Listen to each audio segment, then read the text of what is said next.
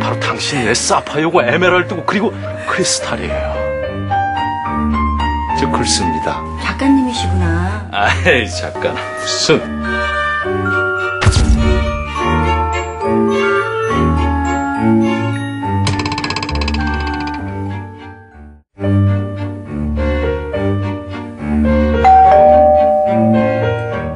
아주 몹쓸 병에 걸렸어요.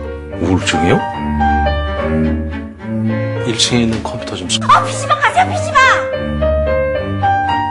그때 내 말대로 아파트를 샀어야 해요. 그때 아파트를 샀어야 했어요. 아파트를 샀어야 했다고. 아,